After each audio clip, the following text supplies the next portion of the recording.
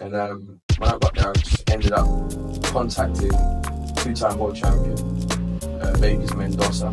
He was at a gym, went down there, picked up two fighters, took them to seven and zero. Um, learned a hell of a lot. Um, met Mr. Jeff Mayweather, Uncle Jeff. Um, held the spit bucket, he was to you know, fastest spit bucket in Colombia again.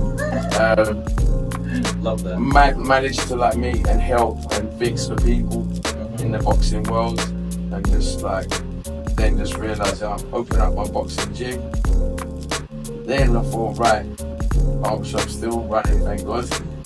And um, and it. Um, God, every time, like when it looked like it was gonna stumble and fall, God always kept us going. I come back. Obviously, there's things, you know what I'm saying? London was weird. London was fucking weird. People were still not themselves. Yeah. There's a lot of like mental health. There's a lot of people. I was just realizing that I wasn't the only one. This is COVID times, yeah. Just after when I come back, Yeah. and um, no one wants to pay tax no more. No one wants to cut hair no more. Everyone wants to be a new DJ and shit. Everyone wants to do all these different things now. Yeah. Had half the team. People would come back different. And um, half the team didn't get on with the other half of the team. So remember that means we got a quarter.